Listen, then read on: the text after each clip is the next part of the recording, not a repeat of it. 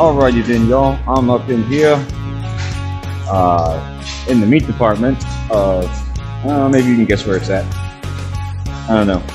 Anyways, I was doing this. I wasn't even going to record this, but man, I, I, I got in the middle of it and I just figured God, I had to do it. Y'all, y'all gonna want to see this. So this was all stopped up, you know, with, with crap, slime, sludge, whatever you want to call it. But man, dude, it's gross, man. It's like all one big uh, fucking piece or something, man. Oh yeah. Oh wow.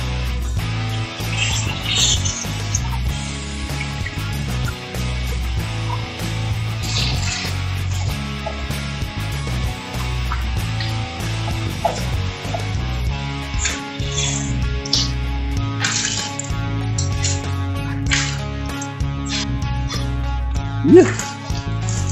Yeah. Anyways, yeah, I just thought I'd uh, I'd share that with y'all.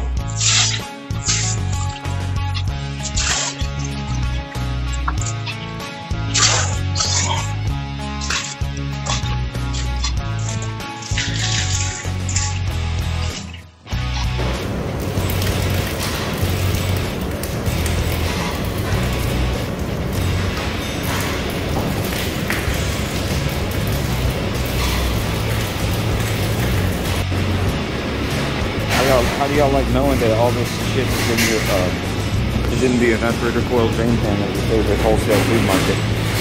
Pretty fucked up, isn't it?